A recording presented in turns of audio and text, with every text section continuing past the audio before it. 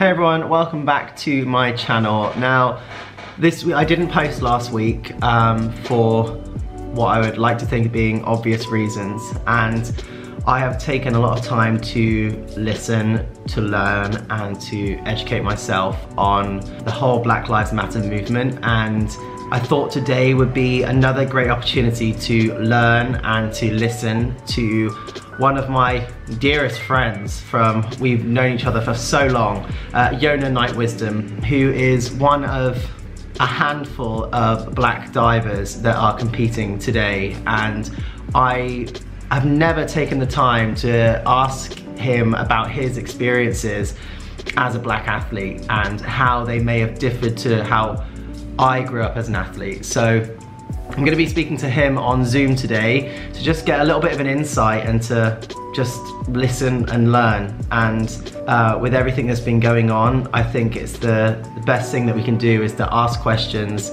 try to understand and amplify black voices and how to be a better ally. Like I want to know how I can support and how I can help and how I can use my platform to create change. So don't know exactly what the content of this conversation is going to be, but we're going to have a chat and see what comes of it. Hello, Yona.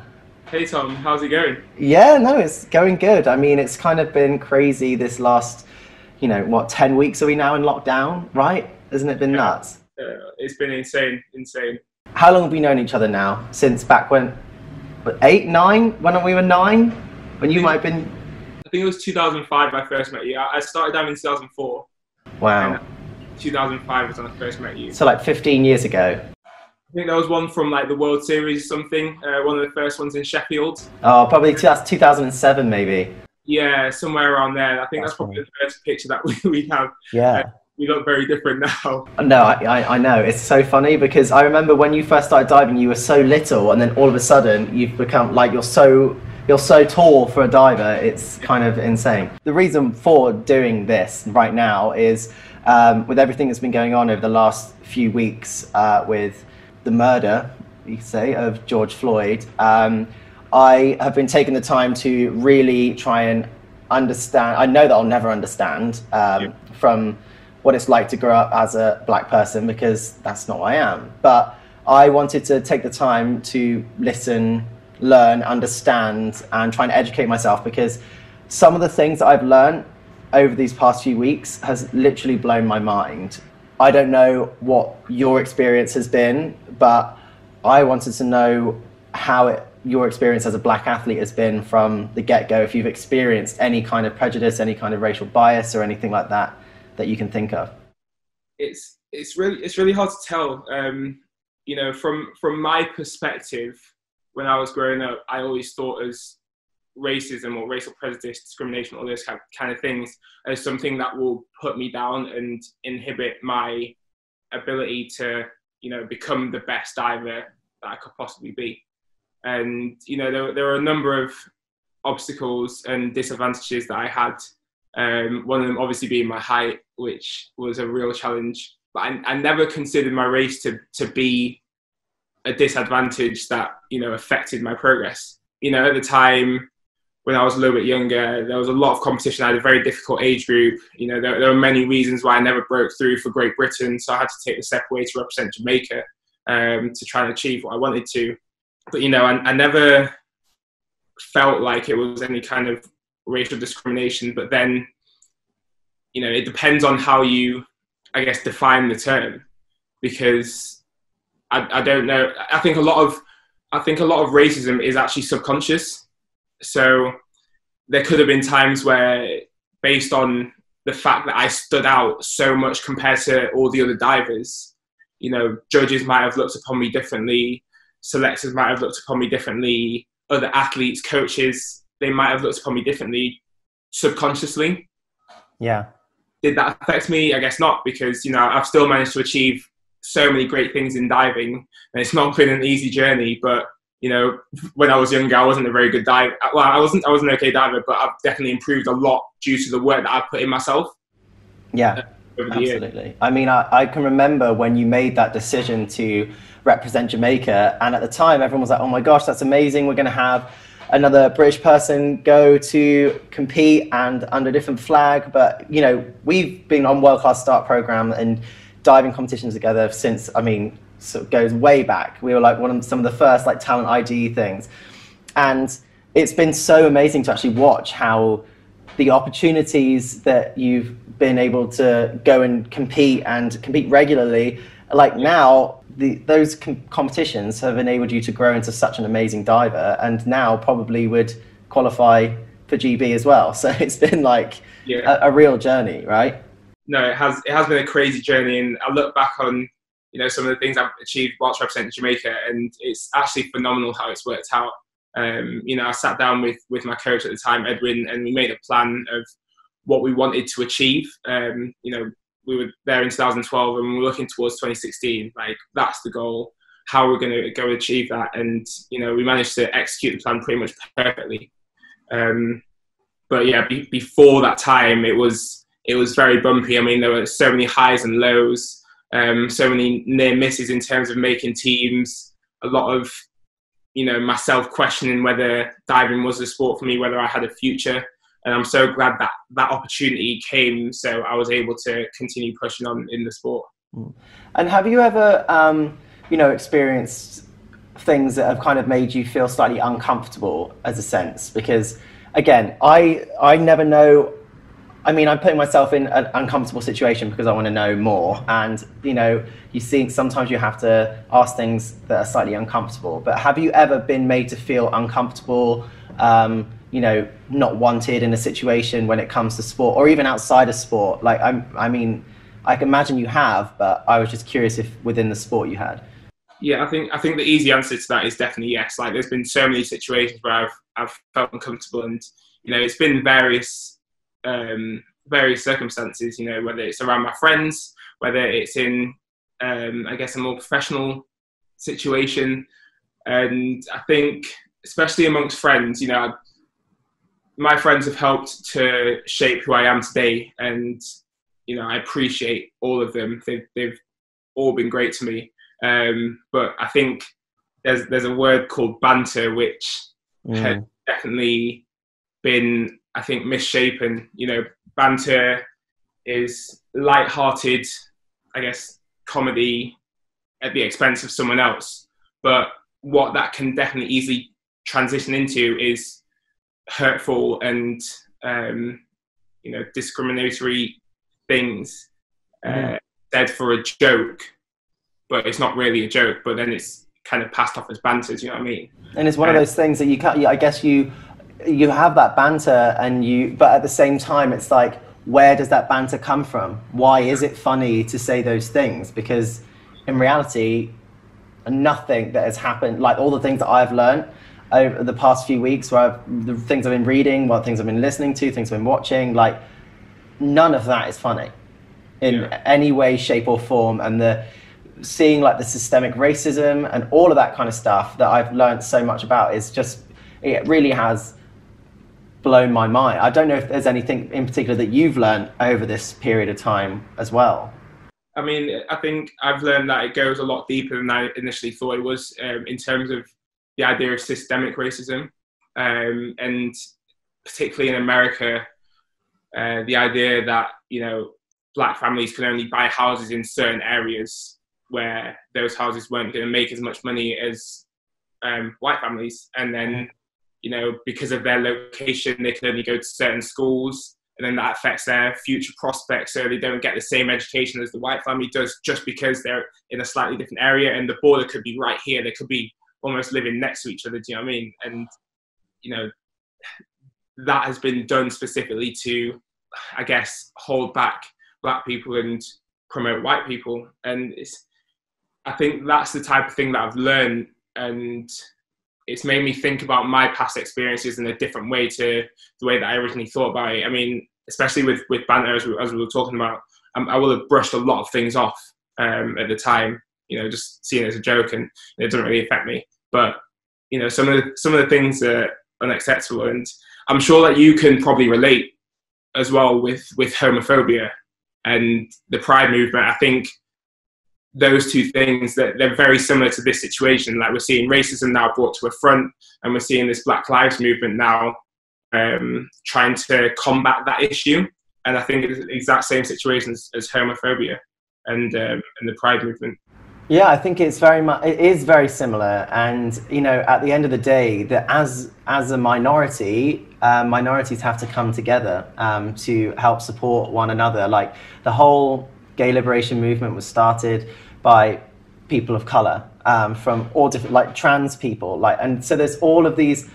There's so many different people, different minorities that have to come together and build bridges to be able to form a coalition of all of the minorities, all of the outsiders to come together to be really strong as allies, which is kind of why, you know, but at the end of the day, I'm a, you know, a white male, uh, cisgender. So, but, so it, in a way, I've got it easy, even if I am a, a gay man. Like, I, it's, it's how can we, or myself, how can we be better allies uh, to help with the black movement. And I don't know if you have any ideas, but you know, it's but for me, what I've been trying to do is just try to amplify black voices and listen, learn, and just try and take in as much as possible, so I can you know help build the you know anti-racism movement. Yeah, uh, you said the word allies, and I think that's really important. Like, it's got to be a united front. It can't it can't just be black people. I mean, um, Terry, I think Terry Crews made a, a, tweet the other day which he, he got a lot of stick for. Um, and I think probably the delivery of his tweet was wrong, um, which was the reason why he got a lot of stick for it. But I think it can't just be black people alone making this movement against white people because that's not what the main issue is. It goes a lot deeper than that, as you said, and it's not just black versus white. It's a it's a matter of society and culture, um, and I think that's where the change needs to happen. Unfortunately, I think black people have been at the bottom of society generally for too long now, and there are reasons behind why that's a thing. So, you know, things like poverty and, um, as we've said, systemic racism based on where people live and the opportunities that they have um, to them. That's all the cause of that, and yeah. it's like a big cycle that just never stops unless something is put into it which ends it and um, allows us to all move forward together as a yeah. big group. And have you ever like felt differently when you're, say, for example, if you're going away to a diving competition and you're in the UK? Do you ever feel differently, whether that's safety-wise, whether that's what worrying about what people are going to say, or do if you were to go to another country, like for example, you've been to uh, have you you've competed in China, right? In Wuhan was when you competed, yeah. right? So did you? Because I know that our physio Gareth experiences a lot of looks and remarks. Like, have you? What was your experience of going uh, to somewhere like China, for example? Um, in in China specifically, they, they, they don't see many other people, um, many other races, many other colours. Um, you know, in in that part of the world, they'll even get excited about you know, a girl who has blonde hair, for example. Like Tonya. yeah. Kind of rare. So in terms of China, I didn't, I didn't feel negative about, uh, you know, the way that people looked upon me, just mm. because I was aware of what that that part of the world is like. The the the place where I was probably most concerned was actually Russia. Oh, really? And you know, my, in the, in the end of it, my concern didn't actually match my experience there. I actually had a really great time. Um, we were in Kazan at the World Champions 2015, and you know, I think it might have been a, a, couple of months before we went out there. I watched a Reggie Yates documentary of when he went to Russia, and I think it's been made clear in, in many different aspects that there's a lot of racism in Russia. Um, you know, football is one place to look at because I think that there have been not many black players to play in the Russian football league, and a lot of them ex- have experienced a lot of racism from the fans. Mm. So, you know, seeing those kind of things, it made me feel a little bit concerned when I went to Russia, and it was so bizarre. Maybe I had the thought in my head already, but when I landed in Moscow um, before making my connection to Kazan, I just felt like people were looking at me, and I just felt like I had eyes on me which made me feel really, really uneasy. I can imagine. And you know, it was in that airport um, setting where you know you, you're pretty much locked in. You're just in that one place. So once I got out of that, once I got to Kazan, you know, I went out into the city.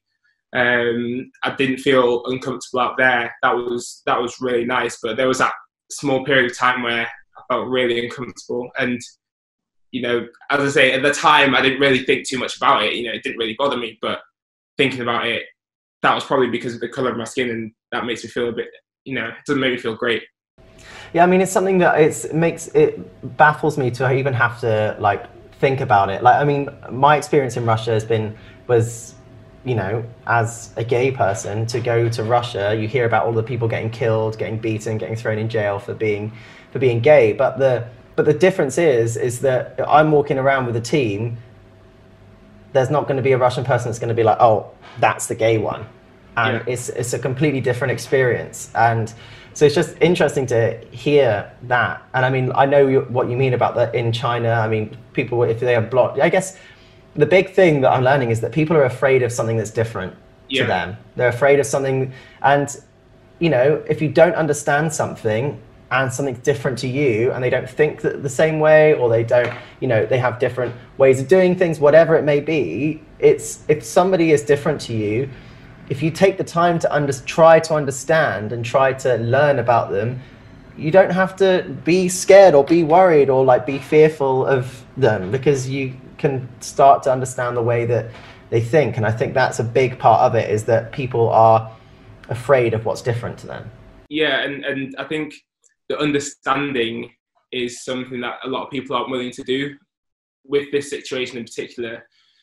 I don't know why, but I feel a lot of people are actually almost scared of trying to understand, you know, what it is really like to be black, especially in the UK or in America where we are a minority.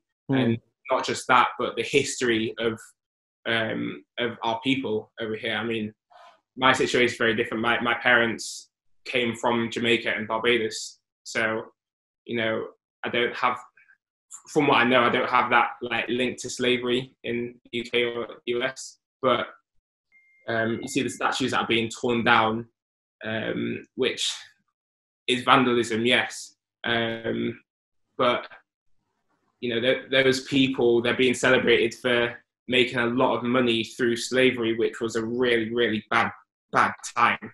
And I've, I've seen a lot of debate about whether the statue should be torn down or whether it should be left up to maintain the history.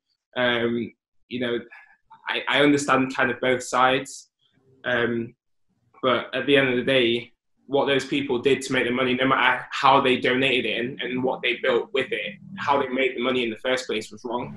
Absolutely, I, I, I agree. Like I think you know if anybody does anything that is like that and they're celebrated for it, like regardless, you know, uh, lots of people will argue that oh yeah, but back then it was different the way that they think and what was acceptable or not. But actually, you know, that stuff was never okay. That yeah. stuff was always controversial. I know what you're saying, but at the same time, it's like they did horrible things. So, how how do you how do you feel kind of watching the protests and everything going on, looking kind of from I guess the outside in, um, seeing all that? How does it make you feel? I mean, it like to be honest, the first, especially the first few days uh, after seeing the George Floyd video and all of that kind of stuff, I, it, it, made, it made me feel extremely angry. It made me feel very upset and it made me feel quite helpless.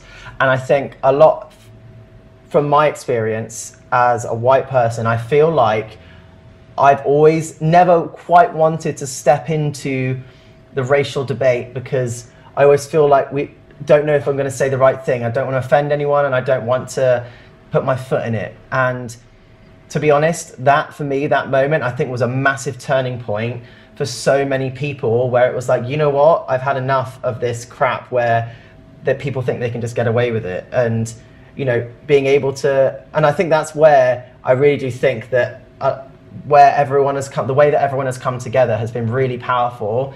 I mean, I know certain things have happened, but at the end of the day, still things have not changed, and so th- people still need to be out there making their voices heard and trying to do whatever. Like, and that's where it's like do whatever we can to try and you know help.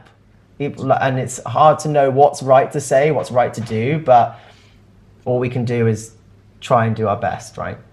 Do you know what? Funnily enough, I the, the turning point that you spoke about, I feel like it was a similar kind of turning point for me because even as a, as a black person, I've not wanted to get into the racial debate either.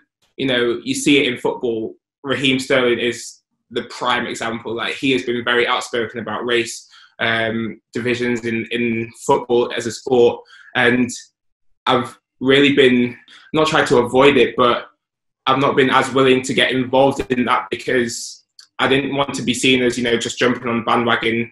Um, I didn't want to you know play the victim when it's not really actually affecting me. Mm. Um, but that's not what it is at the end of the day. You know, whether it affects you or not, there's things that you can do as a person to help those that are in need. And thinking about this situation, there's a lot of parts of life that I have ignored to a certain extent because it makes me feel uncomfortable to think about it as a reality. For example, someone I spoke to, you know, mentioned, um, you know, gangs and um, you know that kind of world that we never see, and you know, thinking about the actual reasons behind it, it's mm. it's really horrible. It's really horrible, and there's things that we can do um, in our we are privileged. We are very privileged. In our privileged position there are things that we can do to help those people that need help to bring everyone else up. And it's got to come from the people at the top the people of privilege to do what they can to help bring the other people up. Um, whether they're black white you know there's various people that are in positions um, of, of difficulty in life and it's not always down to race. We can do. Absolutely. There's, there's, there, I mean, you know, there's thousands of problems in the world, but the fact that this should not be one of them is kind of the the long and short of it. And if we do have a platform, um, you know, not speaking out is you're taking the side of, you know, the oppressor, if you like, and that's not that's not okay. Which is, you know, why I've been trying to do what I can, um, and I think so many people are, and it's really quite amazing to see. And I think if whatever we can and uh, however we can to use our voices to try and lift that up, and then also to be able to donate if we're able to donate to those causes as well, can really help um, bring the movement along. But I want like, but it's you know, it's yeah, it's it's been it's been a, a real wake up call. It makes you really look uh, in on yourself and think, what could I have done better how can I be better? Um, it's been yeah, it's been a real wake up call. Yeah, and and as I say, that's not just related to race. I think that's just general life. As exactly. I mentioned earlier with homophobia, like it's the same thing for that, and other disc- discriminations that we see in life. It's the same thing. You got to look at yourself and think, what can I do better, and how can I be better, and how can I help? And I think the three main ways that anyone can help is to donate, to educate, and to conversate. And I don't know if conversate is a real word, but it kind of flows. If you can donate to, to organizations and things that, that, that can actually take action on improving things, then do that. If you can't, then educate yourself or help to educate others based on your own experiences, based on the experiences of others. There's so many Netflix documentaries. There is Google, which is it's got all the answers so you can educate yourself on that and you know have conversations with people like these difficult conversations At, eh, you know two months ago there is no way that me and you would be having this conversation no no exactly like, i've never even thought to ask you about your you know how it has been as a blackout like i'd never would never even cross my mind for one but two like I, you just don't realize what you know what you've gone what you've gone through what you've continued to go through and so it's it's just really interesting to hear it exactly. from you. And, you know, and the thing is, like, why would you? Because you know you've got your own things to deal with. You know, where you, you before coronavirus, you had the 2020 Olympics to prepare for. You know, everything you you had all of that, and same thing with everyone else. They have their daily lives to worry about. And it's funny that this whole situation in this time of coronavirus and lockdown, where no one really has a normal life to go back to. So that means I think the reason why so much pressure has stayed on this on this subject because it's just been in our faces. We Absolutely. don't have normal sport or normal life work to go back to. So I, I think that's actually been weirdly helpful.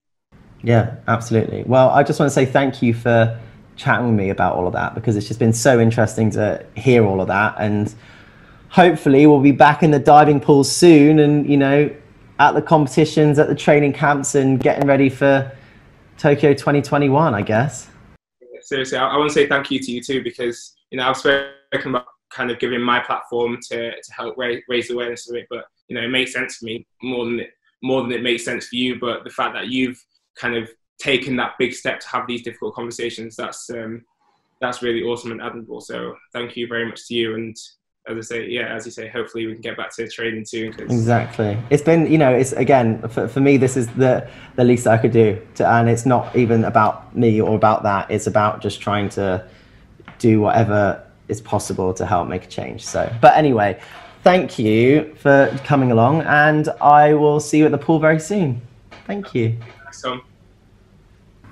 It's always so nice to get to speak to Yona, bless him. He's great, cracking guy. Uh, if you don't follow him on Instagram, you definitely should. He has an amazing podcast called Athlete's Voice as well, where he talks to loads of athletes. And as he said, he's, you know, he's training hard and he's doing well and we're going to be back together competing soon so but anyway thank you for watching this uh, it really means a lot i mean I, like i said everyone's been taking more time to learn to listen to educate themselves but thank you for watching and share this video with someone that you think might want to hear the perspective of uh, Yona uh, as a black diver training in the UK, competing for Jamaica, one of the first Jamaican divers, or the first Jamaican diver. So it's got a pretty awesome story. But anyway, thanks for watching and I'll see you soon.